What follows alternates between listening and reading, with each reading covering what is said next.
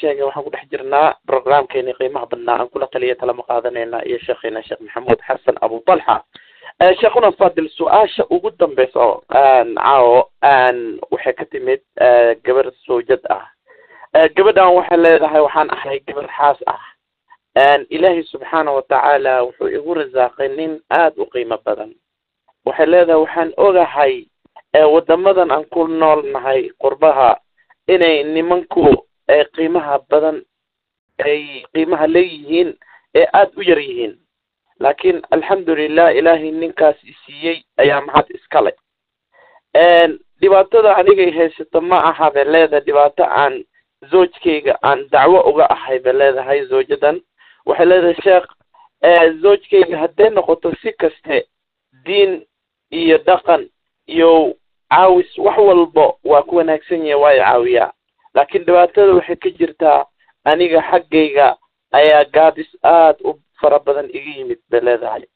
Waagii hore waxaan ahaa gabar aada u wanaagsan oo reerkeeda dhaqanayso oo zoojkeeda dhegaysanayso laakiin waayahan dambe waxaa i qaaday adduun iyo dhaldhalaal bay leedahay taasoo ii keentay saaxiibo aan wanaagsaneyn marka waxay leedahay sheekh awalan aan caawo waxaan kaaga baahanahay bay leedahay talo midda koowaad iisoo ducey bay leedahay.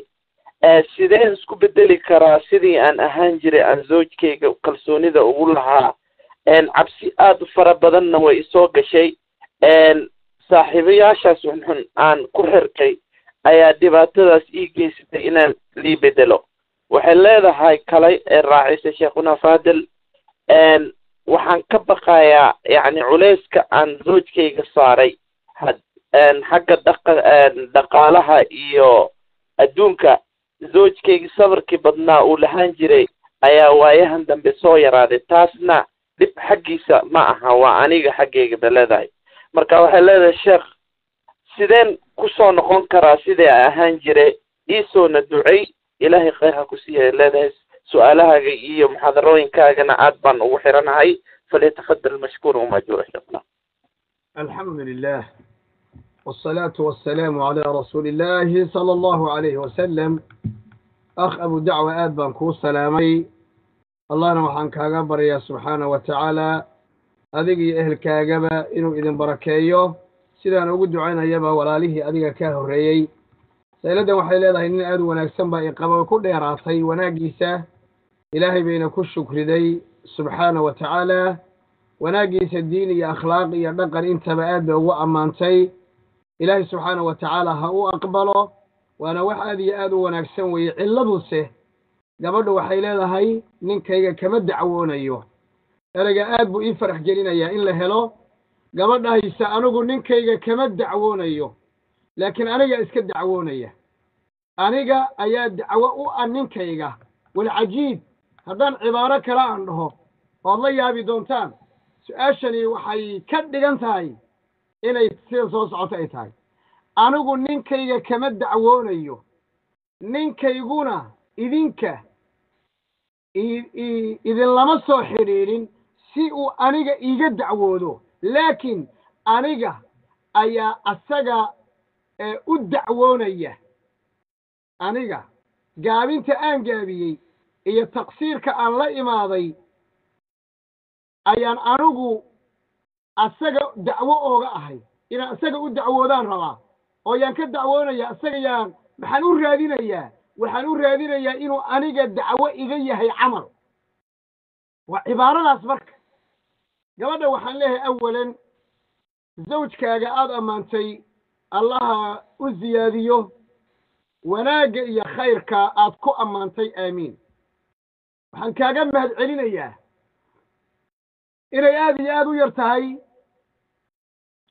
intana soo martay afartii sane hadda ila talida aan wadnay saddexdii sanena hadda ila talida aan wadnay waxaa aada iyo aada u yar oo aadna ugu yarayd nin dhaha anigaa xaaskayga dulmiya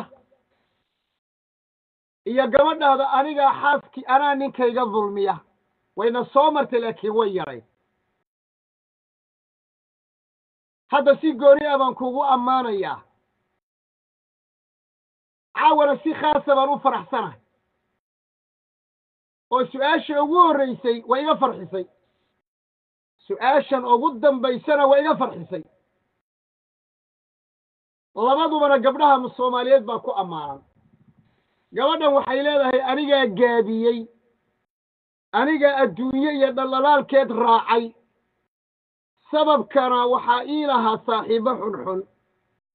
Iisoo ducee seense isu beddeli doonaa seense isu beddeli karaa waa gabadha halku dhegyadeeda weeye. Waxaan leehay horta ictiraafka inaad adigu gaabisay oo zawjkaaga xaqiisa ka gaabisay qirashada aad qiratay horta waa qayb ka mida inaad cudurkaaga daawadiisa heshay. Culamaa'u nafs waxay yidhaahdaan qofku inuu xanuunsan yahay inuu ogaado isgarto waa qayb ka mida caafimaadkiisa iyo cilaajkiisa. Abuu'u laka binicmatika calaya wa abuu'u bidenbi ay actarif qofku inuu ictiraafo dembigiisa.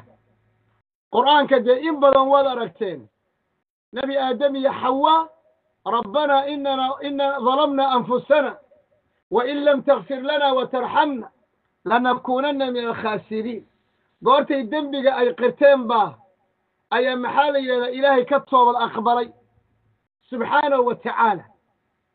Sidoo kale nebiyullaahi yuunus markuu cunay markuu laqay nimirigii ama xuudkii iyo kalluunkii marku uu laqay waa kii meeshaa ka dhawaaqay ee yidhi fanaadaa fi adulumaati an laa ilaaha ilaa anta subxaanak inii kuntu min aldaalimiin qofku marka inuu dembigiisa qirto ilaahayna raalli buu oga noqonayaa subxaanahu wa tacaala ciddii uu dembiga ka galayna haddee way ku farxaysaa aad baan kaaga mahad celinayaa adduunye ay qaadatayo saaxiibbo xunxun baa sabab igu aha waa mishkilad badan wey mishkiladaha ugu weyn waa saaxiibbada wey saaxiibku waa khatar saaxiibku wuxuu khatar ku yahay jannadaada saaxiibku wuxuu khatar ku yahay cibaadadaada iyo daacadaada saaxiibku wuxuu khatar ku yahay caqligaaga iyo maankaaga iyo maskaxdaada. Saaxiibka xun wuxuu khatar ku yahay akhlaaqdaada iyo dhaqankaaga. Saaxiibka xun wuxuu khatar ku yahay muruu'adaada iyo sharaftaada. Saaxiibka xun wuxuu idinkala dilayaa adiga iyo dadka wanaagsan. Wuxuu idinkala dilayaa kow adiga iyo khaaliqii alle ee ku abuuray. Wuxuu idinkala dilayaa ergeygii alle uu soo diray oo nebi moxameda sal ly salam saaxiibka xun wuxuu idinkala dilayaa adiga iyo dadka mu'miniinta ah ee alle iyo rasuul jecel. Saaxiibka xuni wuxuu kugu ridayaa god wuxuu ku gaadhsiinayaa cadaab wuxuu kugu beerayaa welwel wuxuu kugu beerayaa welbahaar qalbigaaga cidhiiri buu ku beerayaa wuxuu ku barayaa mukhadiraad wuxuu kaa duminayaa reerka wuxuu dayacayaa carruurtaada allahu akbar! Khaatumo xumo ayuu marka dambe ku gaadhsiinayaa waxaad yeelaysaa waad garataye waad garatay cudurkaaga inaad gaabisana garatay. Saaxiib xun inuu sabab kugu noqdane garataye waa inaad isqabataa oo su'aasha ah see nafteyda u beddeli karaa adaaba hayaba. Saaxiibka xunna ka hadh zawjkaaga qiimaha badanna intaad ilaahay ugu shukrido ood ilaahay ugu xamdido gacmaha qabso. Yaan laydinkala dhex gelin dantaada garo cibaadadaada ku mashquul qur'aankaaga ku mashquul barashada cilmiga ku mashquul baarinimada waalidka ku mashquul tarbiyada carruurtaada ku mashquul faham garana adigiyo saaxiib xun waxa idinka dhexayn kara waa waa dullinnimo wey waa ciqaab iyo cadaab wey waa alle ka fogaansho wey waxa adiga iyo saaxiib xun idinka dhexayn kara saaxiibbada wan wanaagsan ku xiran in allaha laa yugayiru maa biqowm xataa yugayiruu maa bianfusihim qole ilaahay ma beddelo ilaa ay naftooda beddelaan beddel naftaada adiga naftaada beddel beddel saaxiibka beddel wakhtigaaga beddel saaxiib wanaagsan ku beddel xumaanta iyo gaabinta aad ninkaaga ka gaabisay iyo xumaantaad ka gashay beddel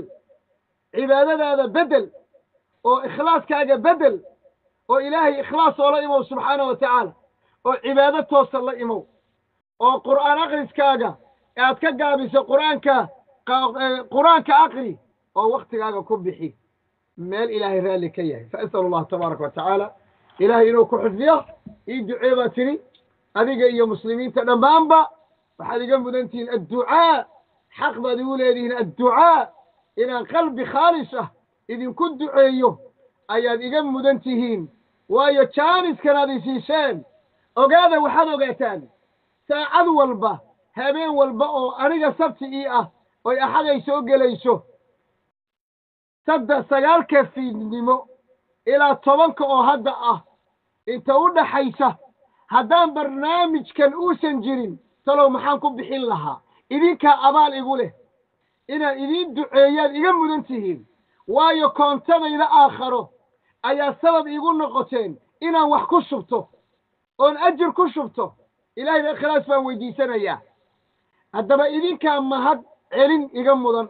Yacni inaan idiin mahad celiyo oon idiin duceeyo oo can dahri alghayb aan idinku duceeyo gabadha u dambaysay iyo gabadha u horraysay iyo inta dhexe inta i dhegaysanaysa inta i dhegaysan doonta inta isbitaallada ku jirta inta baabuurta iyo taraagga saaran inta tagsiyada wadda inta mucallimiinta ah inta mashaa'ikhda ah inta khayrka ka shaqaynaysa inta ka shaqaynaysa dadka dhibaataysan ee fuqarada iyo agoommaha iyo roob la'aanta ee ku dhacday inta rag iyo dumarba mid yar iyo mid weynba mutacallim iyo jaahilba dhammaan inta xaq igu leh iyo inta mataqaanaa qaraabo ah iyo inta kaleba inta wax isoo bartay iyo inta wax sii bartay dhammaan waxaan leeyahay ilaahay dartii baan idin jeclahay inta dhimatayna allaha u naxariiso ilaa inta dhimatayna allaha u naxariiso.